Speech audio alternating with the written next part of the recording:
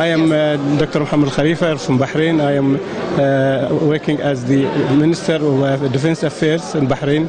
Uh, actually, the problems in the Middle East, especially that between uh, Israel and Palestine, that was you know long time ago. It's more than 60 years, and that is some kind of chronic problem that know, the whole world should look at it.